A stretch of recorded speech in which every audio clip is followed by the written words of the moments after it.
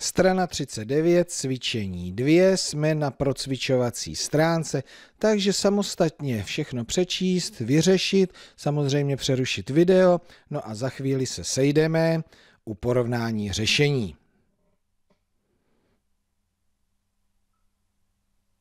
Tak jdem porovnávat. Pustíme se nejdříve do úlohy A. V obchodě měli 1500 lahví limonády. Prodali 950 lahví po 20 korunách, poté limonádu zlevnili o čtvrtinu ceny a prodali zbývající limonády. Kolik korun za limonády utržili celkem? No, docela hodně informací, v tom si musím udělat pořádek.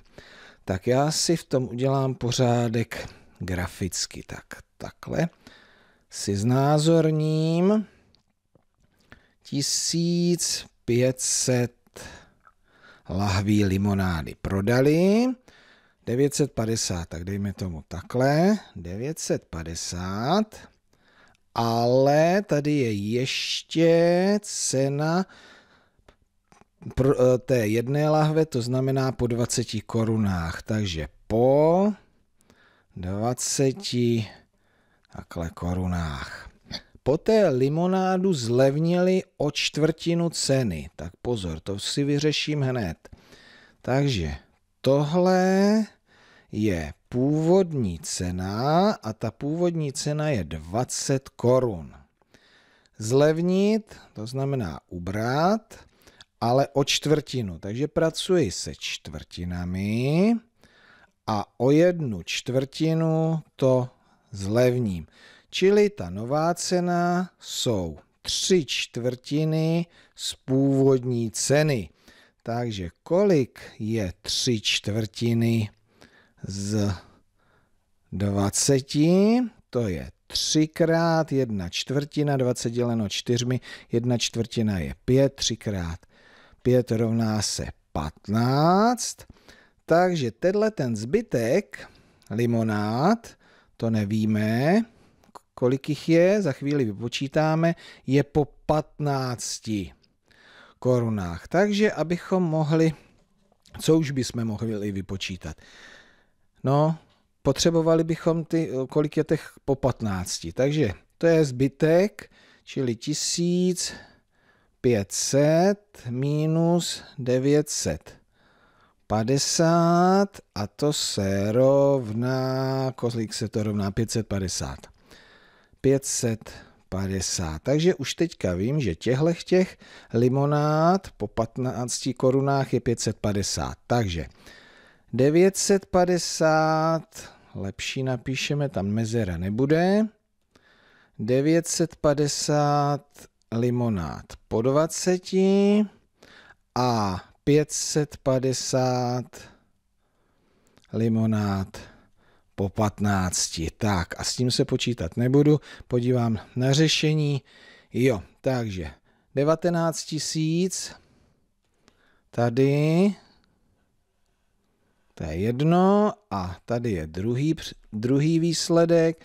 No a když se to dalo dohromady, tak to je 27 250. Máte také tak? Bezvadný. Tak to bylo Ačko, Bčko. Karel má 300 korun, kdyby měla Verča našetřeno o 10 korun více, měla by čtyřikrát více než Karel. Kolik korun má Verča? Mhm. Tak zase si to trošičku napíšu. Tak Bčko. Takže K jako Karel a ten má 300 korun. Verča Kdyby měla o 10 korun více, nevíme kolik má, a kdyby měla o 10 více, tak by tohleto bylo 4 krát více, než měl ten Karel. Čtyřikrát více, to je 300 krát 4 rovná se 1200, jenže ona nemá 1200, ono jí chybí 10 korun, takže 1200 minus 10 rovná se 1190. Jo, je to tak? No jo, je to tak. Verča má 1190 korun. No a co tady u toho, u toho C?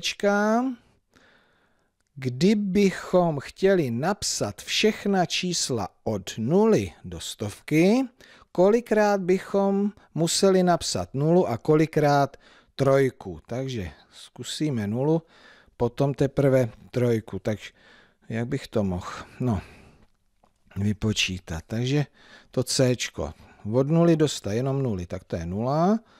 10, tam je taky nula, 20, 30, 40, 50, 60, 70, 80, 90, 100, takže kolik je tam těch nul? 1, 2, 3, 4, 5, 6, 7, 8, 9, 10, 11, 12 nul, no a s trojkama to bude podobný. Podíváme se.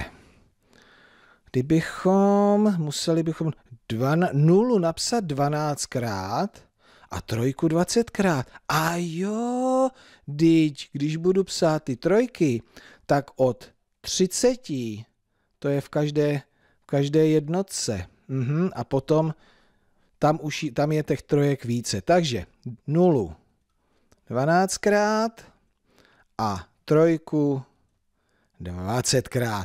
Tak, prošli jsme si celé cvičení všechny tři slovní úlohy. Doufám, že je máte správně.